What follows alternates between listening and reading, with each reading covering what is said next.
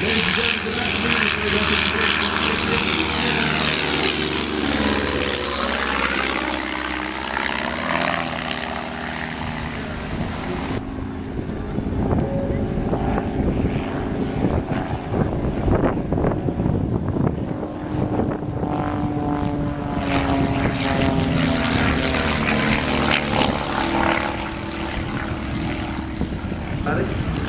Third in the world in the World Aerobatics Championships 2008.